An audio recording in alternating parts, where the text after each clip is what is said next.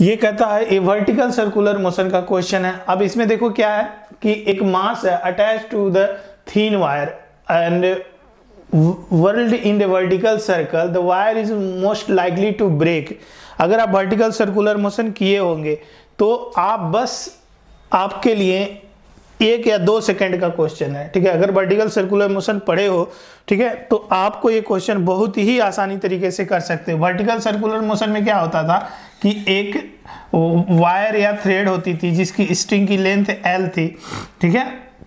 और यहाँ पर एक बॉब था, ठीक है? और ये वर्टिकल सर्कुलर मोशन करता था इस टाइप से यहाँ एक मिनिमम वेलोसिटी दी जाती थी, जिसे just complete to vertical circular motion तो वायर कहाँ से ब्रेक होता है वर्टिकल सर्कुलर मोशन में? ठीक है?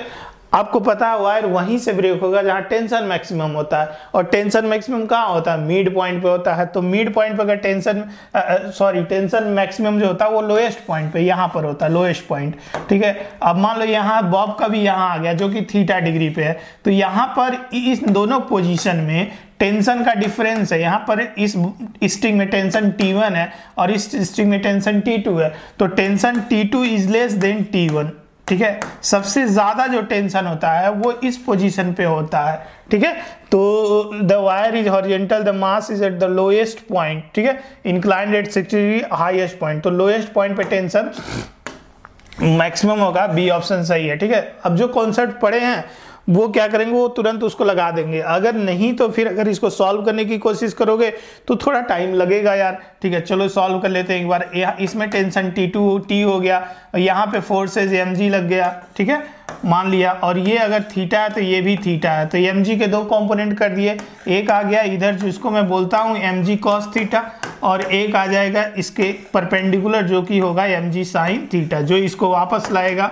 ठीक है, वो एम जी साइन थीटा होगा और ये M G cos theta centripetal और टेंशन मिलके सेंट्रीपिटल फोर्स डिसाइड करेंगे, क्योंकि सर्कल में चल रहा है। तो अगर मैं इस पॉइंट पे सेंट्रीपिटल का इक्वेशन लिखूं तो मैं क्या बताया हूँ आपको सेंट्रीपिटल का concept net real forces towards the centre ठीक है? तो सेंट्रीपिटल फोर्स जो आ जाएगा, इस पॉइंट पे सेंट्रीपिटल फोर्स वो आ जाएगा, इस पॉइंट की velocity M V square over R ठीक है? M V square over force M V square over R is equal to T minus T minus M G mg cos G cos theta ठीक है? T minus M G cos theta मतलब tension T की value आ जाएगी, वो आ जाएगा M V square over R और plus M G cos theta M G cos theta. तो this is the expression of tension आप देख रहे हो कि हर पॉइंट पे जो है, वो थीटा वेरिएबल है। हर पॉइंट पे थीटा वेरिएबल है। और साथ साथ हर पॉइंट पे वेलोसिटी भी वेरिएबल है। ठीक है? हर पॉइंट पे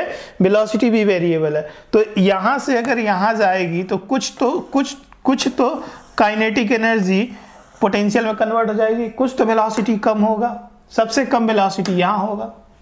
ठीक है? तो ऑब्वियसली वेलोसिटी तो कम हो गया और थीटा थीटा जैसे ही थीटा बढ़ेगा कॉस थीटा की वैल्यू कम हो जाएगी।